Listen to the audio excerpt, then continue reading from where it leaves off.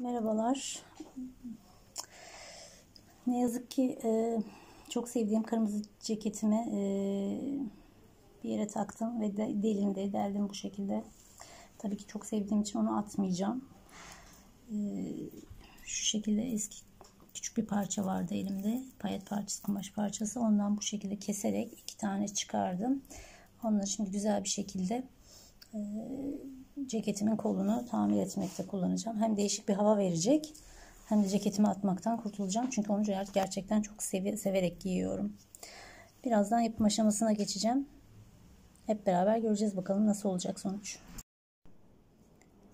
Kestiğim parçaları ceketimin koluna güzelce iğneledim.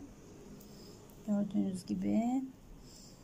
Şöyle omuzdan başladım. Bitince bence çok hoş olacak. İyi ki de delinmiş mi diyeceğim acaba bilmiyorum.